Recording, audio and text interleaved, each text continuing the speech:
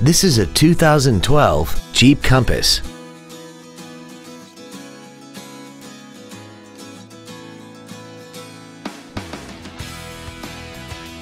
Its top features include a multi-link rear suspension, traction control and stability control systems, aluminum wheels, roof rails, and a tire pressure monitoring system.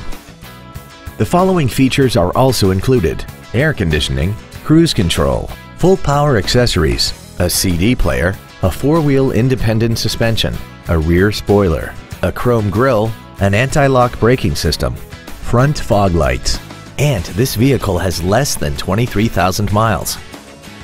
Contact us today and schedule your opportunity to see this vehicle in person.